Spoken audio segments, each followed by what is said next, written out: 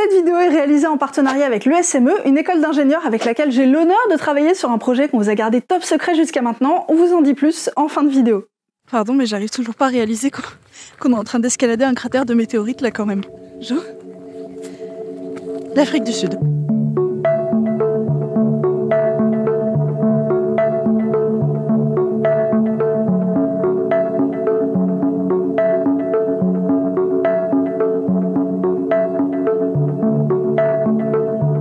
Que vous voyez pas, euh, c'est ce lac qui est derrière là. C'est en fait un cratère des météorites qui est tombé là il y a 20 000 ans. C'est assez impressionnant. Et ce qui est rigolo aussi, c'est que les archéologues ont trouvé des artefacts. Toujours de respirer. Les archéologues ont trouvé des artefacts au fond du lac. Ça prouve qu'il y avait des gens qui vivaient là et qui vivaient aussi de l'exploitation du lac, notamment du sel. Le sel de ce lac a continué à être exploité jusque très récemment. D'ailleurs, en Tswana, le nom même du cratère, Tsweng, signifie là où se trouve du sel. Des bassins pour extraire le sel du lac. Dans les années 1970, ça. Un festin de ou de porc-épic. Au dire des experts. Revenons-en à notre cratère de météorites, l'un des plus jeunes et des mieux préservés qu'on connaisse. Ici donc, il y a 220 000 ans, quelque part à 2 heures au nord de l'actuel Johannesburg, s'écrasait un astrocaillou, ou une chondrite pour les intimes, de 30 à 50 mètres de diamètre. Imaginez un immeuble qui tombe du ciel devant vous, dégageant l'énergie de 100 bombes atomiques comme celle d'Hiroshima. La météorite s'est vaporisée sous le choc et elle a creusé un trou profond de 100 à 150 mètres à l'origine. Imaginez la violence de l'impact pour réussir à faire décoller des blocs de granit gros comme ça et qu'ils atterrissent 60 mètres plus haut que le fond du cratère. 25 gigapascales, à peu près 250 000 fois la pression atmosphérique. C'est la pression minimale qu'il a fallu pour faire décoller ces blocs du sol. Là, je vous dis ça comme si c'était évident hein, que c'est un cratère de météorite, mais avant qu'on le sache, eh ben, on ne savait pas. L'origine de cette formation, c'était même un débat féroce au 19e et surtout au 20e siècle qu'on a seulement réussi à trancher assez récemment. Parce qu'imaginez qu'un énorme caillou céleste nous tombe sur le coin du museau, bah c'est pas forcément l'hypothèse la plus parcimonieuse. Et effectivement, au début, les chercheurs ont plutôt parié pour un cratère volcanique. Un volcanisme d'un type qu'on connaissait sans doute pas très bien, hein, c'était quand même un peu bizarre tout ce qu'on voyait là, mais du volcanisme quand même. Ils ont pas non plus balancé ça comme ça les bougs, ils ont trouvé de la lave refroidie, précisément des anciennes cheminées volcaniques qu'on appelle des dikes. C'est l'occasion de vous montrer une dike peak. Donc là, ce que tu me montres, c'est un bout de dike Ouais, c'est le dike volcanique qui est intrusif en fait dans le granit. Ouais. Euh, T'as une branche au milieu du visage, vas-y. Là, là c'est bien. t'as le granit Ouais. et t'as ton dike qui passe là, la limite granit dike. D'accord. Donc en fait, c'est une, euh, une intrusion volcanique qui a fait penser aux gens, du coup, que ce cratère était un cratère volcanique et non pas de météorite. Sauf que, d'une part, on s'est rendu compte que le basalte avait coulé ici bien avant qu'un astrocaillou s'invite à la fête. La roche est datée de 1,3 milliard d'années, contre 220 000 ans pour l'impact, hein, je le rappelle. La preuve que ces dikes sont antérieurs à cet impact, c'est qu'ils sont souvent fracturés et déplacés, donc ils ont été affectés par la chute de la météorite. Oh, comme je vous ai datation relativée, là, vous avez rien vu venir. donc ça part mal pour l'hypothèse du volcan. Et par ailleurs, il y a d'autres indices qui collent pas avec cette idée. Car voyez-vous, comme l'a évoqué Aliénor juste avant, la météorite s'est écrasée sur une roche cristalline, du granit. Granit, c'est du quartz, ça c'est des gros gros bouts de quartz. Feldspath en rose. On doit avoir de la biotite, donc c'est du mica noir, c'est des bouts noirs. Et euh, j'ai oublié le dernier. Je suis hyper en retard sur les copains parce que plus on descend, plus les granites sont incroyables. Plus ils ont été cuits par l'impact de la météorite et du coup ils, ils ressemblent pas vraiment à des granites, c'est très bizarre. Donnez-moi celui-là là par exemple. Vous avez vu ce granit bizarre Bon, je suis encore obligée de m'arrêter à regarder ça. Non mais regardez-moi ça. T'as trouvé des belles choses? Oh Qu'est-ce que c'est que ce fussoir?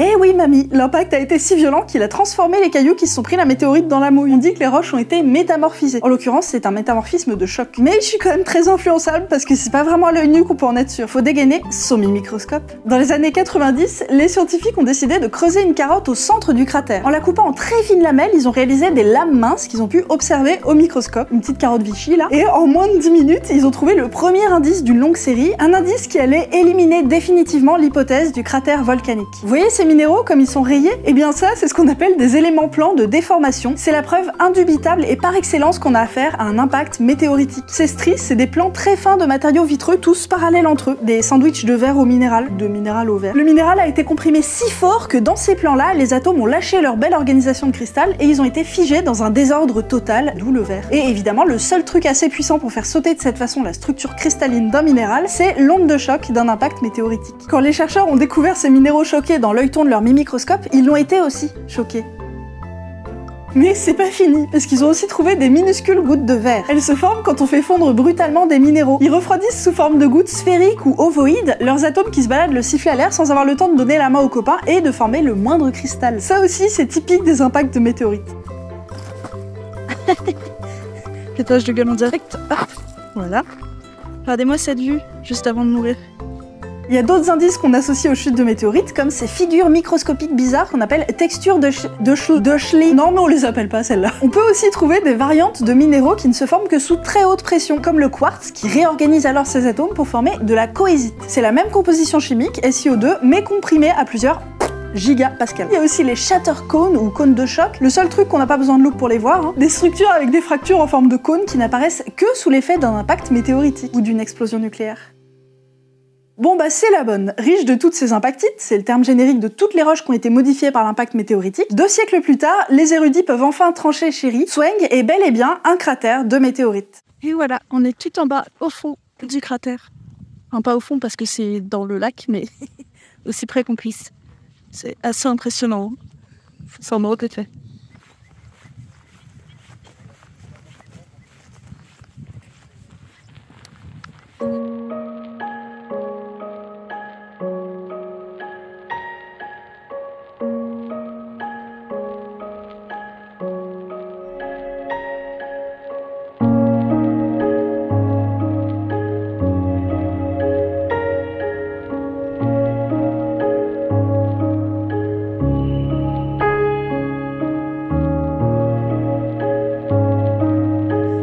Probablement parce qu'on va se payer un orage de bâtard sur la tête, mais euh, je trouve qu'il y a une, ambiance très particulière ici, c'est rigolo, c'est euh, un, peu, euh, un peu mystique.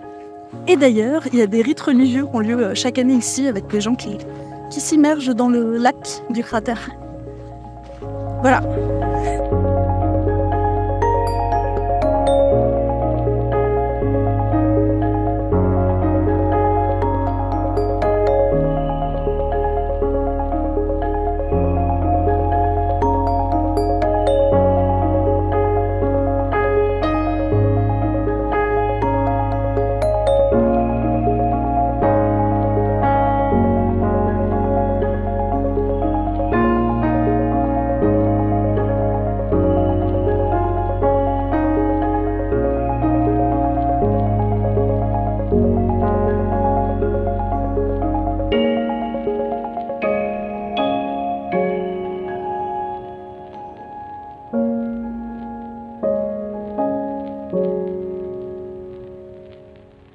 Mais vous m'avez pas demandé comment ils ont pu dater cet impact. C'est vrai quoi, on n'a pas de vieux assez vieux pour nous dire je me souviens très bien, c'était un 3 janvier, j'avais mangé du chou-fleur. Eh bien, les chercheurs ont daté les fameuses gouttes de verre qu'ils ont retrouvées dans le cratère avec une technique que je connaissais pas mais je trouve assez chouette. C'est la datation par les traces de fission. Oui, fission comme dans fission nucléaire. En fait, ce verre contient un tout petit peu d'uranium radioactif et lors de leur désintégration, les éléments fils émettent des minuscules traces qu'on peut observer au microscope. Donc logiquement, plus il y a de traces dans le minéral qu'on observe, plus il est vieux. Et comme on sait combien de traces émet notre élément dans un temps donné, on n'a plus qu'à compter les traces et on arrive à estimer un peu le temps qui s'est écoulé depuis la formation du minéral. Vous me suivez toujours? Et c'est donc en comptant ces minuscules traces à la main, enfin plutôt à l'œil, sur plus de 400 échantillons de verre issus du cratère, les chercheurs sont vraiment pas payés assez cher, qu'ils ont pu remonter à 220 000 ans avant Eminem, le jour où tout a basculé. Et comme les humains existaient déjà à l'époque, c'est peut-être la première chute de météorite qui a été vue par l'homme moderne, nos ancêtres. J'espère qu'ils ont fait un vœu celui de ne pas se trouver en dessous. oui, parce qu'à l'image de chaque nouveau scandale sur vos youtubeurs préférés, ça a été très rapide, violent et personne l'avait vu venir. Récapitulons le trajet de l'impacteur. Filant à la vitesse moyenne de 20 à 30 km h il faut à peine 10 secondes au bolide pour traverser l'atmosphère terrestre. À partir de là, tout se passe en quelques secondes à peine. L'énergie cinétique de l'impacteur est transférée au sol lors de l'impact sous forme d'une onde de choc. Le choc est tel qu'il vaporise instantanément la météorite, les couches superficielles de roche et accessoirement toute forme de vie qui s'y trouvait. La roche est comprimée sur le passage de l'onde. Au point d'impact, la roche est intensément fracturée, fondue et en partie vaporisée. Puis, très vite, l'onde de choc est réfléchie par les roches du sous-sol en sens inverse, en direction du centre du cratère. Cette onde retour fait décoller des tonnes de ces miettes de roches fragmentées à l'allée, qui retombent dans le cratère et tout autour. Pendant ce temps, le bord du cratère se forme alors que la roche solide est poussée vers le haut et l'extérieur. Dans un troisième temps, le cratère s'effondre à moitié sous l'effet de sa propre gravité et se comble en partie de ses propres débris, mêlés à ceux de la météorite vaporisée dans les airs. Ces roches faites de miettes, on les appelle brèches d'impact. Tout ce que je vous ai décrit là a pris quelques secondes tout au plus. C'est extrêmement rapide et d'une intensité rare et folle. Le choc générerait aussi des vents violents de plus de 1000 km/h qui raseraient la végétation en moins de temps qu'il ne me faut pour finir cette phrase. Et puis, le calme. Tout ce qui n'aurait pas été détruit sur le coup se retrouve recouvert de débris rocheux jusque peut-être un kilomètre et demi du point d'impact. On estime qu'entre l'onde de choc, les vents et les retombées des éjectats, toute forme de vie aurait été éliminée dans une surface de 1000 km autour du cratère de Tsweng. Et pourtant, on parle d'un petit impact là. Hein. Je rappelle que le machin faisait la taille d'un immeuble. Pour ceux qui commencent à regarder le ciel avec frayeur, rassurez-vous, un événement pareil, ça se produit que tous les 7000 ans statistiquement. Ça veut pas dire que le prochain arrivera dans 7000 ans. ça se trouve, il arrivera aujourd'hui ou alors demain ou hier. Non, pas hier. D'ailleurs, le dernier événement équivalent, c'était en 1908 en Sibérie. Heureusement, le caillou est tombé sur un troupeau de rennes. Pfiou Et bon, d'accord, sur 2000 km, la forêt est passée en 2D. Non, mais vous inquiétez pas, on les voit venir maintenant, les astéroïdes. On est équipés, on a des, des télescopes qui nous surveillent le machin pour qu'on puisse dormir tranquillement sur nos douze oreilles. Donc quand vous voyez l'ampleur du scénario, vous vous dites bien que la météorite s'est pas contentée de rayer de quartz et d'aller siroter un petit cocktail pour se récompenser d'une bonne journée de travail accompli. Autrement dit, le choc a pas juste cuit les cailloux et fait sauter quelques gravillons de plusieurs tonnes, il a carrément retourné tout le bordel comme une crêpe. tu peux le redire du début s'il te plaît, j'ai pas enregistré. donc euh, le signe en fait qui disait qu'aux gens euh, c'était un cratère, euh, que c'est maintenant un cratère de météorite plutôt, oui. c'est que la stratigraphie en fait elle est inversée. Du coup, tu as les roches les plus vieilles qui sont en haut et les roches les plus récentes qui sont en bas. Donc, ce qui prouve en gros qu'il y a eu un impact et que tout a volé en fait sur les côtés du cratère. Première fois que je vois un truc pareil. Des plis dans du granit. Là, devant vous, il y a une feuille. Voilà, condition physique. D'avoir grimpé juste ça. Pourquoi étais-je étonné de voir du granit plié? Parce que d'habitude, c'est des roches solides, ça, ça plie pas, ça casse à la rigueur. Pour plier du granit, faut une sacrée énergie et des conditions vraiment particulières. Première fois que je voyais ça. En passant, petit point Scrabble, cette histoire de couche de roches retournées comme une crêpe, ça s'appelle la spallation. Voilà, on le voit bien sur ce schéma. Si, si, je vous dis qu'on le voit bien. Donc voilà comment on a su, enfin quand je dis on, euh, comme d'hab, c'est surtout moi, hein, toujours la même qui bosse, que cette étrange formation était un cratère de météorites. Grâce aux impactites retrouvés sur place, les minéraux choqués, les gouttes de verre et les brèches d'impact, et aux couches géologiques tête en bas. Ce qui est quand même pas commun, puisqu'on dénombre seulement 190 cratères d'impact à la surface de la Terre aujourd'hui, qui n'ont pas été complètement érodés du coup. Euh, ouais. Oh oui, c'est bien celui-là. C'est pas commun, mais en même temps, euh, c'est plus commun qu'on le croit. Et oui, car ce cratère est magnifique et il n'est pas le seul. Vous n'êtes pas mal non plus.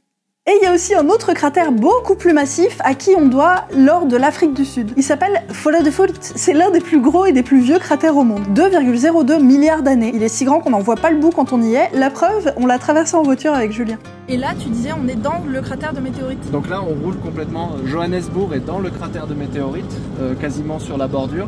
Et là, plus on se dirige vers Potchefstroom, plus on se dirige vers le centre. Donc on sera vraiment pas loin du tout de, de Vredefort là, ce que vous voyez, c'est un cratère de météorite. Waouh Il y a trois plis concentriques autour du cratère. Et mhm. donc là, ces collines-là, c'est le troisième pli euh, le plus loin du cratère.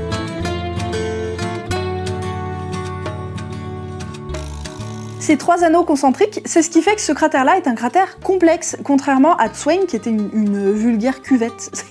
c'est un cratère simple. J'ai pas trop compris comment ça se passe, mais j'apparente ça au mouvement des gouttes d'eau qu'on voit au ralenti. Vous savez, il y a le picot, et puis après, si le mouvement continue, il y a deux vagues concentriques, et puis après, il y en a trois, etc. Alors, je sais pas trop si c'est lié, je compte sur les savants parmi vous pour me physique-explainer en commentaire, n'hésitez pas. Et surtout, cette météorite fut tombée du ciel, excellent, parce qu'elle s'est abattue sur des roches très riches en or. Ces réservoirs ont fait la richesse de l'Afrique du Sud, l'une des plus importantes sinon la plus grande réserve d'or au monde. Une structure de cratère qui fait à peu près 300 km euh, de rayon. Et donc ces 300 km de rayon, c'est tout le bassin minier du Witwatersrand. Donc c'est tout le bassin où on trouve de l'or à Johannesburg. Parce que cette croûte métamorphique a protégé les roches orifères de l'érosion. C'est donc grâce à ces postillons de météorites que ces formations orifères ont pu traverser plus de 2 milliards d'années et nous parvenir aujourd'hui. Si ça, c'est pas une belle histoire. Si, c'est une belle histoire. Moi oui, c'est une belle histoire. Je profite de cette vidéo pour vous annoncer mon nouveau partenariat avec l'ESME, une école d'ingénieurs pluridisciplinaire qui, sévit sur euh, tout le territoire métropolitain et qui sponsorise cet épisode de surcroît avec une équipe de choc constituée des Superamas et des Saturax. On a l'honneur de réaliser leur nouvelle saison destinée à présenter les inventions de leurs étudiants. L'école nous a laissé carte blanche, oui oui, et le résultat est à la hauteur de vos espérances. La preuve avec le teaser. Salut les amanches, je suis Valentine Delattre, vidéaste sur la chaîne YouTube Sciences de Comptoir. Ceci est un hold-up. Par la chaîne de l'ESME pour cette nouvelle saison. Avec mon équipe de choc, suivez-nous à la rencontre des étudiants brillants de cette école. On n'a pas hésité à leur poser les questions qui dérangent. Tu préfères quoi entre la paix dans le monde et un chapeau rigolo D'où vous vient cette passion pour les combats de chèvres Est-ce qu'on peut regarder ton historique internet Toujours avec le grand professionnalisme qui nous caractérise. On vous réserve 6 investigations de haut vol pour vous présenter les inventions des étudiants de l'ESME qui proposent des solutions aux problèmes de demain. Et aussi d'aujourd'hui. Objets connectés, énergie, intelligence artificielle, accessibilité, santé et des applications plus qu'inattendues. Bonjour À retrouver tous les 15 jours sur la chaîne YouTube de l'ESME, Instagram et TikTok. Et ça commence dès aujourd'hui avec la sortie de leur première vidéo sur leur chaîne, puis ce sera tous les 15 jours sur leur compte YouTube, TikTok et Instagram. Et pour fêter ça, grand jeu concours Bonjour je ne suis pas Nicolas Sarkozy et j'ai grand plaisir à vous faire gagner mon livre Le temps des combats, dédicacé par toute mon équipe de Sciences et Comptoirs. Si vous commentez cette vidéo de l'ESME avec la meilleure utilisation que vous feriez de mon ouvrage. Il est là, il vous attend. Bonne chance à tous et à très vite sur la chaîne de l'ESME. On compte sur vous pour les arroser d'amour et de bonne humeur comme vous le faites ici. J'espère que ce deuxième volet de l'aventure sud-africaine vous aura plu. Moi, il m'a beaucoup plu. J'étais vraiment joyeuse quand Julien et Sophie d'Entracte Science et leurs compères m'ont proposé d'aller littéralement grimper dans un cratère de météorites. C'est quand même pas tous les jours, peut-être tous les deux jours à la rigueur. Je vous avais déjà parlé des météorites sur la chaîne du Vortex, mais là c'était l'occasion de vous parler de l'autre moitié de l'histoire, la géologie des impacts. Je trouve ça vraiment fascinant. J'essaye de revenir très vite avec la suite. Euh, on a fini sur l'or, peut-être ça peut vous donner un indice sur l'épisode suivant, je vous en dis pas plus.